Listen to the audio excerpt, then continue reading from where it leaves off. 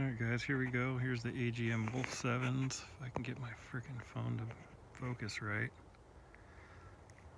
I live out in the country. You can see there's Mount Baker up there.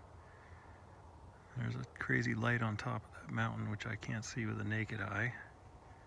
There was just a coyote out here in this field, but um, hopefully I've got everything halfway focused for you guys. Give you a little pano here some trees. I would say it's pitch dark out, but it is, looks like three quarters of a moon tonight.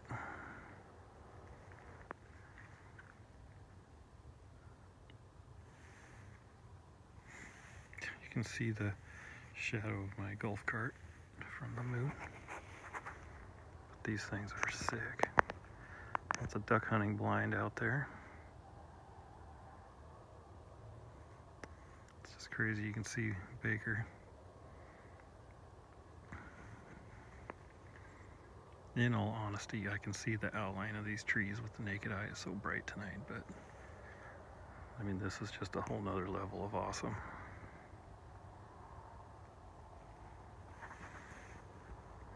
I don't know, that light there, I tried looking at it with a thermal, I can't see it. I don't know what that is.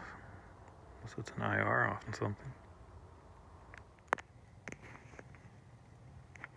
Anyways,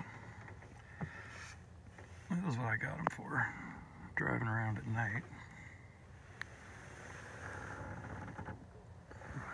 To be able to see.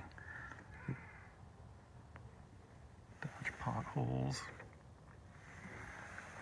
Be able to see all sorts of things at night.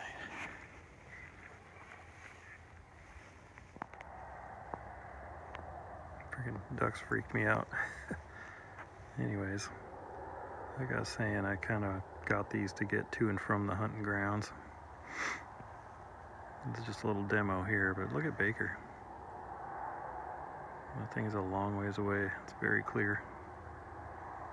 But again, like I said, I'm looking up at the moon now. It's it's pretty bright, but so this is an exceptional night. It's clear.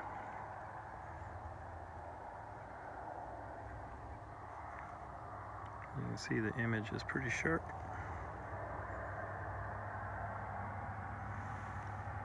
My tracks. Pretty great. Anyways, I'm happy. Hope this looks good to you. I'm waiting for my Team Wendy helmet and my mount. Then I'll make a video on mounting it up and publish this baby. So hopefully that comes soon. Thanks for checking this out. Here's how dark it is. Bruh.